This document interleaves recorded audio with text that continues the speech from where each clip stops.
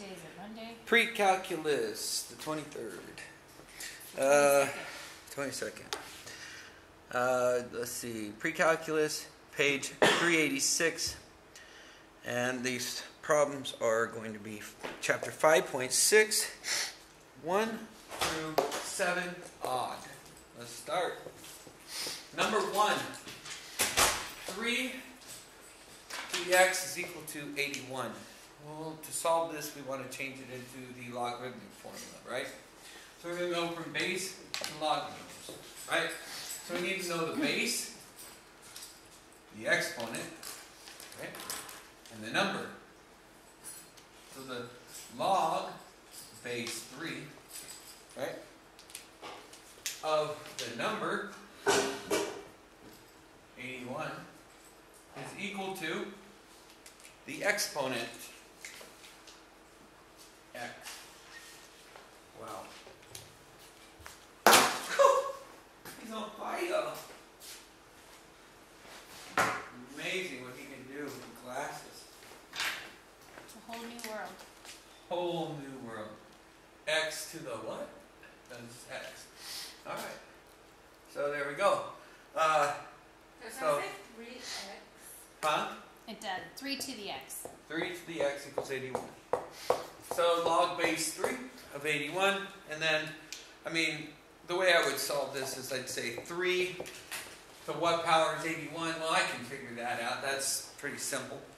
x is 4, right? Uh, because 3 to the fourth power would be 81. 3 squared is 9 times 3 would be 27 times 3 would be 81. Um, so this one's pretty easy. But plug it in your calculator, we do that little under the gun trick. Oh man, another bad. What? He is on fire. This too. Log base three. So how this would look is log 81 divided by log 3 and that should equal a 4 in your calculator. Simple. Pretty easy? Hmm. Alright, let's do the next one. This one, not so much, much a logarithm, you know, because once you have exponents on both sides of the, the equation, we need to start looking at a different way of solving this. And the different way of solving it is making some like terms. What's really like here is I know that this is a 3 raised to the x plus 1, right? And I know that this is a 3 raised to the second power. That's what 9 is, right? Raised to the 5x. Okay? Well, that means is, is I got 3 raised to x plus 1 equals 3 raised to the 5 times 2, which would be 10x. Okay? So, the nice and easy part about this is that then the bases are the same, so now I can set the exponents equal to each other. X plus 1 is equal to 10x. Okay? And so subtract x, subtract x, 1 is equal to 9x. And divide by 9, divide by 9, and x is equal to 1 9. Voila! No? What? Where'd you get lost? That one's easy. So you just divided by three? Yeah, one nine. Huh? How did you get them to go together? Go. Which ones to go together? These ones? No, I did you just divide nine by three? Well, I just said, hey, nine is three squared, right? Oh, Right? So I just I just substituted in three squared for nine, okay. and then I, I was saying, well, that's raised to the power of five x, right? And, well, then it's a power of a power, right? And what do we do with exponents? Power of a power, you multiply powers, right? And so that's why it's five times two. Okay, so this is just five times two, which is ten. And since this is 3 to the x plus 1 and this is 3 to the 10x, right? Then they have to be the same, right? And the 3's are the same. So the only thing that's changing is the exponent, right? So I can I can set these two equal each equal to each other, and then use basic algebra to solve for x. Deal? So far? How about you? Better? No. Anita? Okay, then follow me through on this next one and see if you guys can can can feel what I'm putting down. All right. What? How can we rewrite nine in terms of three?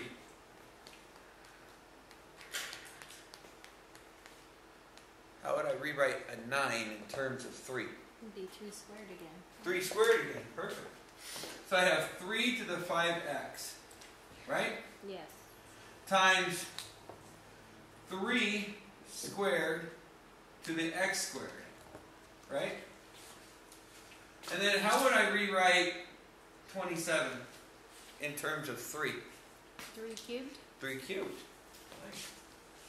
I'm on fire too, Dan. You are on fire! All right, now, how will I write this power of a power? What do we do with the power of a power? You multiply. You multiply them. So that's just bam. So that's just 3 to the 2x squared, right? Is equal to 3, 3, right? And then we have 3 to the 5x. What do I do with two powers that have the same base? When I multiply them, what do I do to their exponents? That's right. Okay. So this would be 3 to the 5x plus 2x squared equals 3 to the third, right? What would you do? Three to the five x.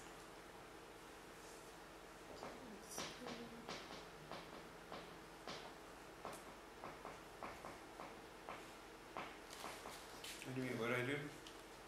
Oh, added them. Oh, okay. Right? Now, I could write that 2x squared plus 5x, right? That'd be fair. I just can't say it's too. Too small. So let me make it a little bigger. 5x plus 2x squared equals 3. What I did there is I just got rid of the bases. The bases are the same. So all I care about are the exponents. Okay? Now, with that said, could I subtract 3 from both sides? And can I reorganize this so I have 2x squared plus 5x minus 3 equals 0? Right? So all I did was rearrange this. Brought it over. And now what are we going to do? We're going to da da da da five step method. Hmm. Boom, boom, boom, boom. 2x, 2x, right? Bring down the sign. This tells me that they are different. What's my product? What's my sum? The product is 2 times 3, which is 6. The sum is 5. We are subtracting in the sum. So two things that multiply to be 6, but they subtract to be 5. Bingo. Correct, Mundo. That would be 3 and 2. Right? But then, we got to take out the star. Right? And the star is a 2. So I'm going to pull out a 2 and a 1. And so I get 2x plus 3, right? Times x minus 1 equals 0. And I set both of these equal to 0. 2x plus 3 equals 0. x minus 1 equals 0. Solve. x equals negative 3 over 2. Right? And this one is x equals 1. And so x equals negative 3 over 2 and 1.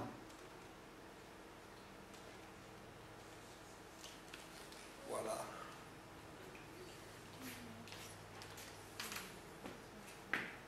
Easy peasy, Japanese.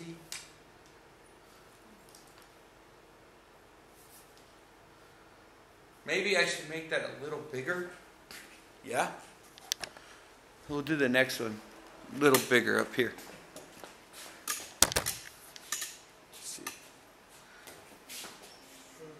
All right, it's still recording. It's gonna die on me, but let's see if we can make it to the end.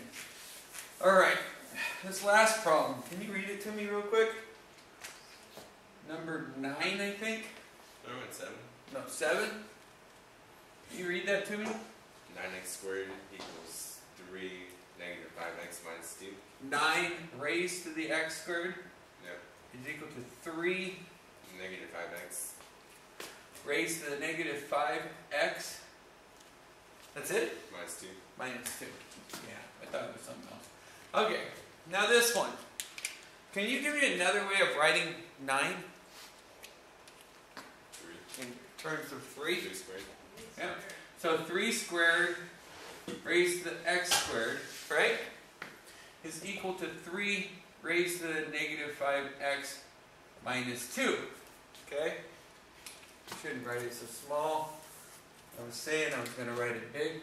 3 squared raised to the x squared, right, is equal to 3 raised to the negative 5x minus 2. Okay? Uh oh. A little farther away. Oh, that was in though. If it bounces out, it's not it. It was so very close. close.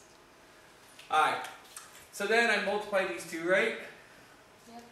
So I have 3 raised to the 2x squared is equal to 3 raised to the five, negative 5x minus 2.